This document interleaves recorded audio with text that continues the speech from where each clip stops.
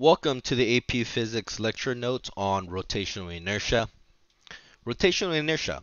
We can think of a wheel as consisting of many particles located at various distance from the axis of rotation.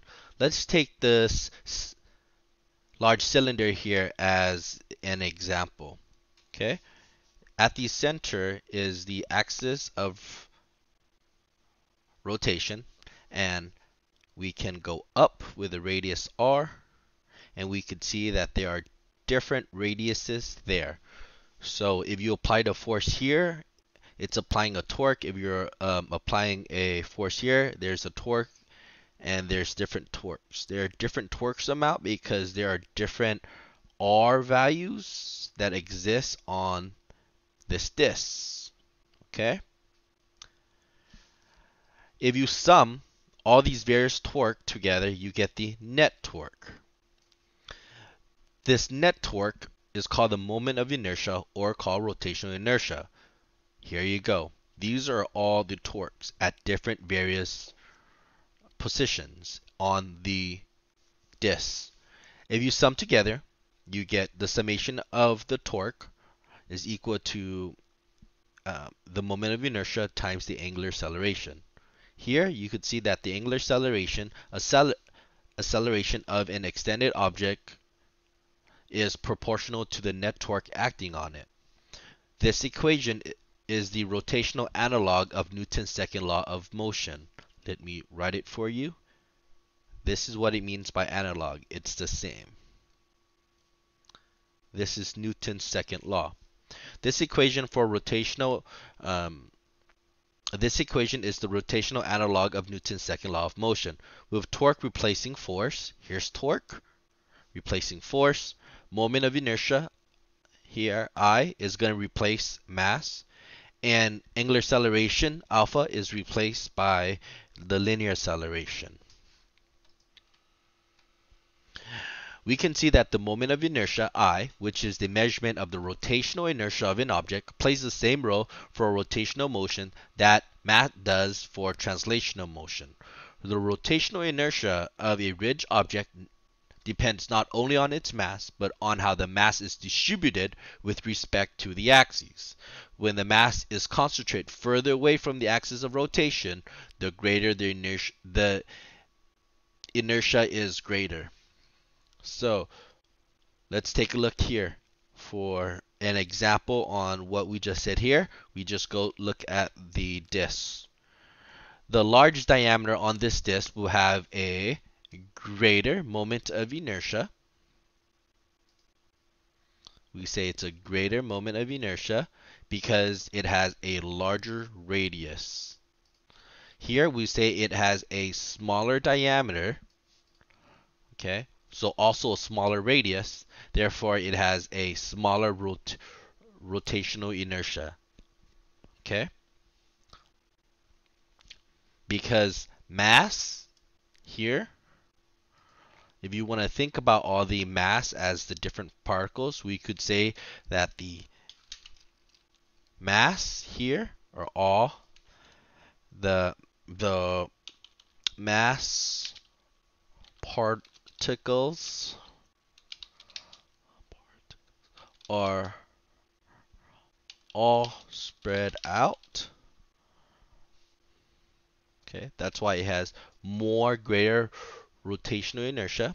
And here you could say that the mass particles are particles are all centered in the middle or the center are all centered in the center. Okay? That's why it has smaller um, moment of inertia. So let's take a look. All right what I would like you to do is that these are all your different moments of inertia and you're going to put these to where it should be here using this idea. All right. We'll start off with the basic, which is the hollow or thin cylindrical shell, which is I is equal to mr squared.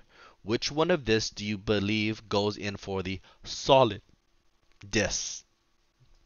Pause the video and try. Is it 2 fifths mr squared, 2 thirds mr squared, or 1 half mr squared? It is actually 1 half mr squared. Okay, I would like you to notice something that the moment of inertia from here, from the thin hoop to the solid hoop, okay, this is less than the solid version. Okay. Why is it less than the solid version? Look at the way this, um, the way the mass particles are separated. It's all on the what? Outside, right? But here, all the masses are what? Evenly spread out. This is why this has a smaller moment of inertia. Okay? Alright? So this we have a smaller rotational inertia. Okay? Because the mass are all over here at this dot, but here it's all separated out. Okay? So this is spread out more, this is spread out less. Alright? Now, if you take a look at this, okay, which one do you think this one should be? Okay? Which one? The thin sphere or the solid sphere, which one is the least? Okay?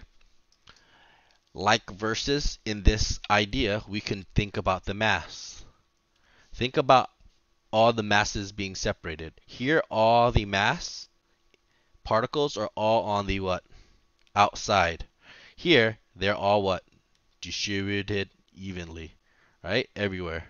So think about how this one would go. Pause the video and try it. Alright, here you go. The thin one, okay, the thin one will have the 2 thirds, and the solid one will have the 2 fifths. Why? It's the same idea. It's going to have less than the um, thin version. Oh, I had a typo here. Less than the solid version. Oh, that's wrong. This should be less than the thin version. Sorry about that. This should be thin. Okay. This should be less than the thin version. Okay. Alright. The thin version here will have more moment of inertia. The solid version will have less than. Okay. Okay, what about these? Okay, which one do you think is going to have more? Which one's going to have less? If the um, if it's through the center, is it right here? Is it through the center or through the end? Okay, we would say that the through the center it would be one one half and here through the end it would be one third okay? Why is that? Okay? Let me let me bring this up. Let's see if I could bring this up exactly like this. Okay? So here's the one half version and here is the one third version okay so notice again it's like this. Do you see how the particles here are at the right here? Do you see how it was spread out on just on the circumference? Same thing here, just out on the outer shell. Here, it's the same idea. All the masses are on the outside. But notice for the solids, right, it's all centered. It's all distributed evenly. So that's like equivalently to the center. Remember, this is going to be less than the thin version. Okay, here's a shortcut for all the ideas that we just brought together is this idea. Okay, here is the key concept that you should get from these notes so far.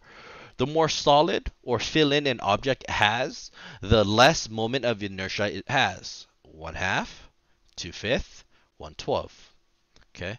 The more hollow the object has, the more moment of inertia it has. Okay? Good? Okay? This is just something that you might have to memorize if you do not understand it. Okay? Alright.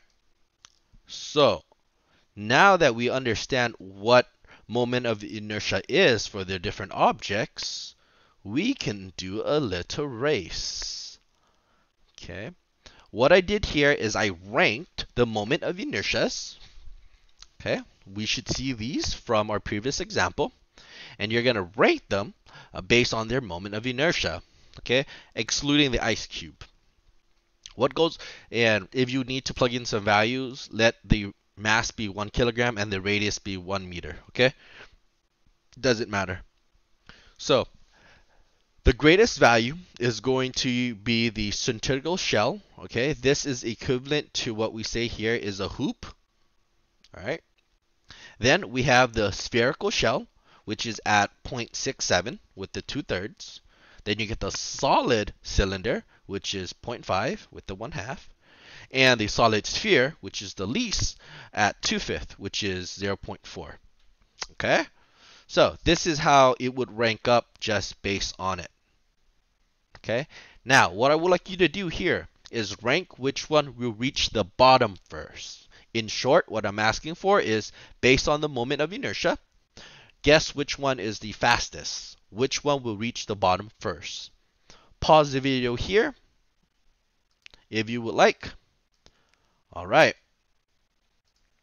So, pause the video because I'm going to run it. All right, let's see if your guess is correct.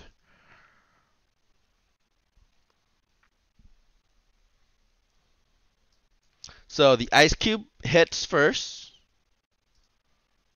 Then the red solid sphere. Then run pause.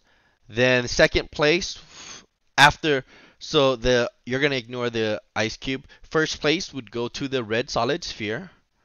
Then you get the solid cylinder, which is the yellow.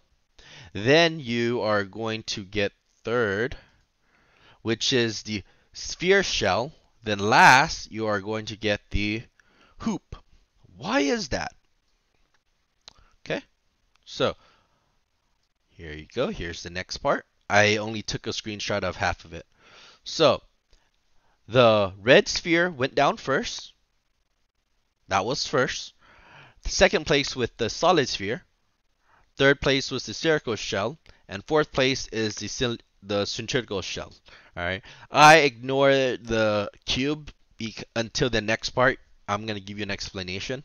So, why is the object with the less moment of inertia here the fastest down the ramp? Why is that? Okay, pause the video and try to do it. Try to think why. All right, here's the answer. So, the notes that I want to get you is this idea. Rotational kinetic energy is one half the moment of inertia I, um, angular um, angular velocity, okay, which is omega squared, and the unit here are just joules. Okay, so I'm going to read this to you. An object that rolls why its center of mass undergoes translational motion, which is just linear motion, will have both translational and rotational kinetic energy. That means a ball rolling will have both a linear and a rotating kinetic energy. Okay? Defined by this. The total kinetic energy can be defined as 1 half mv squared plus 1 half um, i omega squared.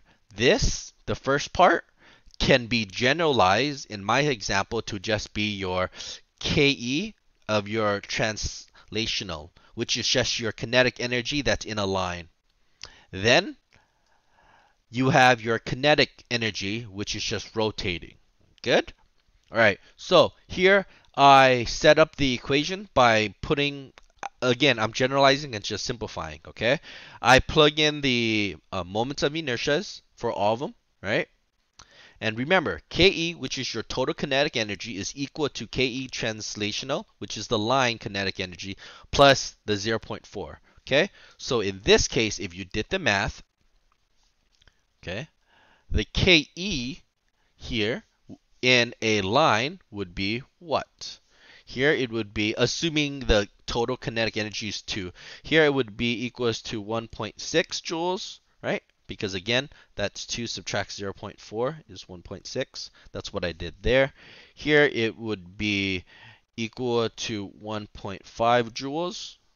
Here it would be, I'm rounding here of course, equal to 1.33, repeating. And this one would be uh, equal to 1. Sorry, joule, 1 joule. Okay, again, it's 1 half mv squared, assuming mass is equal in all of them. Okay, you can just compare its velocities this way. So, why did the red sphere come down first? Well, its translational kinetic energy was 1.6 joules, right? That's how much kinetic energy it had in a line. This one had the smallest, right? So it was at 1 joule. Okay. Now, remember our ice cube friend here? Right? We had our ice cube, and when it hit, the ice cube actually went down first. Why, in theory, should the ice cube be here? So for the ice cube, okay, let's make this for the ice cube, the ice cubed the ice cube's kinetic energy was going to be Ke um, tr translational, which is in a line, and Ke rotational, correct? No, there is actually no rotational. Why? It's on a frictionless surface. Okay? Saw that? That was on a frictionless surface. So all its kinetic energy was transformed to its kinetic energy um, translationally, which is in a line. So in this case, for the ice cube, it was just uh, 2 and 2. So this is all translational kinetic energy for the ice cube. This is the reason why the ice cube went down first, okay? But here I wanted you to see how the um, rotational kinetic energy um, is affected, okay? All right, so you should be able to use these notes here okay to get a better understanding of how rotational inertia works. This is the definition of rotational inertia how we got it from torque. You are never asked to derive rotational inertia in physics 1 but you have to understand um, why each equation is the way it is. And remember this idea the more solid or fill in the object, the less moment of inertia it has. The more empty or hollow an object is, the more moment of inertia it has. Okay?